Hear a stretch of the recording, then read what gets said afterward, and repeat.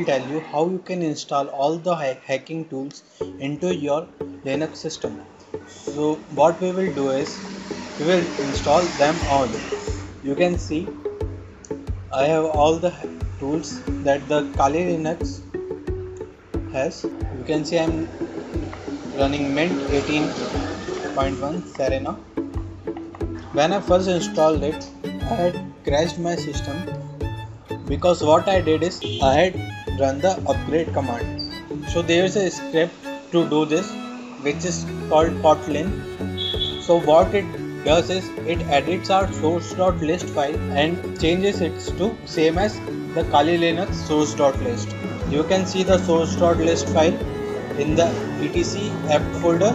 Here's the source.list file and it's uh, the source. When I ran this command, the system thinks that it is a Kali Linux system.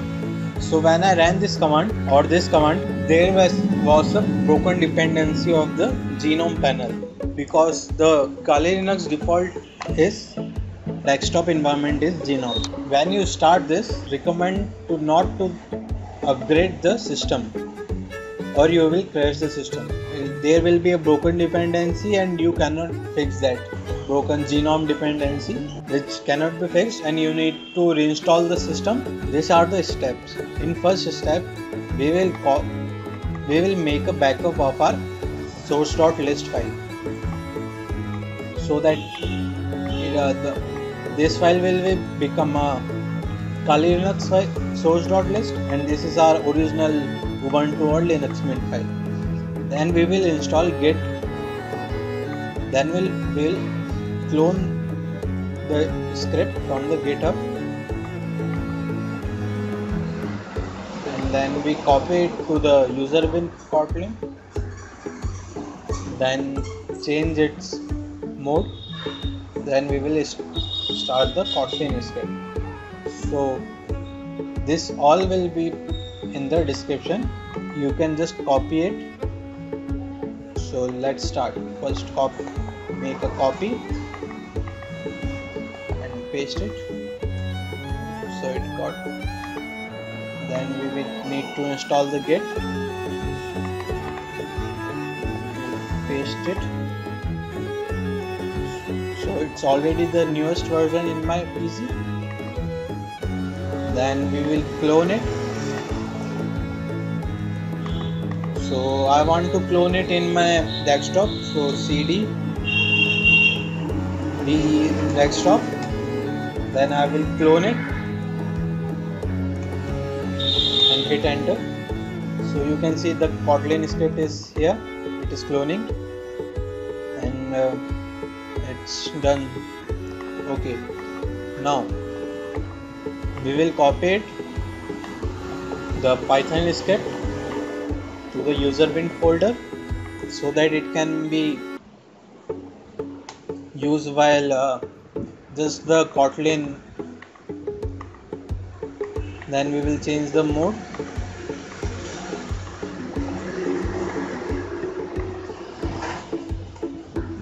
Okay then we will start the Katoolin. So here's the script.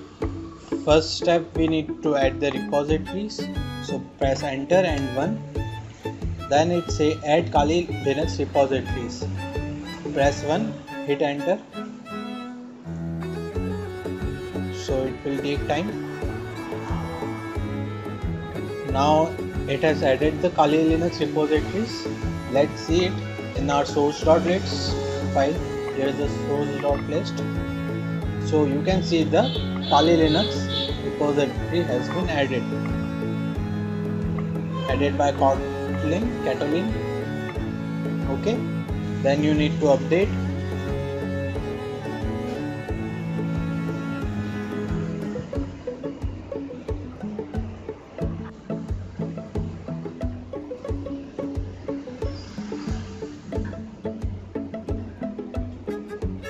It takes time.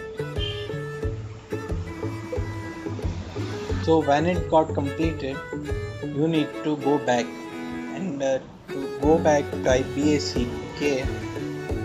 hit enter. So now you need to go to second view categories. Enter now if you want a specific hacking tools like information gathering or wireless attacks or sniffing you need to choose that if you want them all you need to press the zero button. Press zero button and hit enter it will download all the tools and install it in your system. So when it got installed you need to go back. Now there are two 3 and 4 now if you want this type of menu you need to install the kali menu which is number 4 and if you want something which is like this applets classic menu indicator is like an applet so what is an applet? You can see the battery indicator and this network speed. And the applet will be present here. So when you click here you will see a menu here. It is very useful when you are using unity desktop which has dash. So if you are cinnamon and uh, if you don't want to change your default the default menu items you can use the classic menu indicator. So you need to just press the third button and install. Do you want to install? Press y hit enter. And wait for some minute. Press enter to continue. It is adding the PPA now it's installing it. Don't do this or you will crash your system. Because the source.list file has these two lines present and because of this you will get a GNOME error because we are not using GNOME in our systems as the Kali Linux default desktop. So before doing this, you need to delete this. There is an option present in add Kali Linux repositories and update. Press 1 and you will find that remove all Kali Linux repositories. Press 3 and it has been deleted all the repositories. Now you can see the source.list file by entering 4 and you will see that only the your default linux repository is present now you can do this upgrade and all the things